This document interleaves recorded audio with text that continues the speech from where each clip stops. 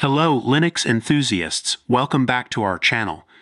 Today, we've got some intriguing news for you. Brace yourselves, as the infamous blue screen of death is making its way to Linux, all thanks to Systemd. Yes, you heard it right. Let's dive into the details.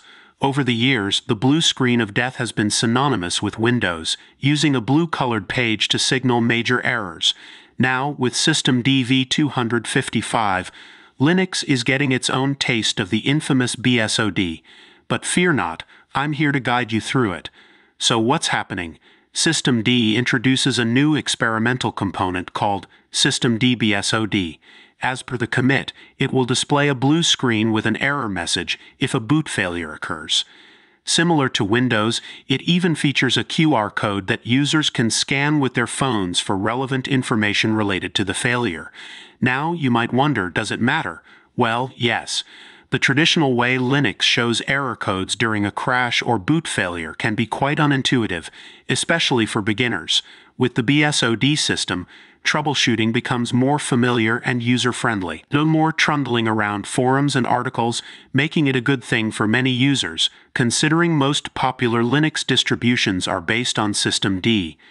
Now, besides the BSOD feature, Systemd v255 brings some key highlights. There's a complete overhaul of how services are spawned. seccomp now supports the LoongArch 64 microprocessor architecture. System V service script support has been dropped, and much more, including improvements for TPM2 support.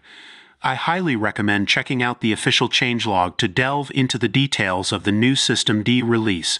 This update is expected to be featured in many Linux distributions set to be released in the first half of 2024.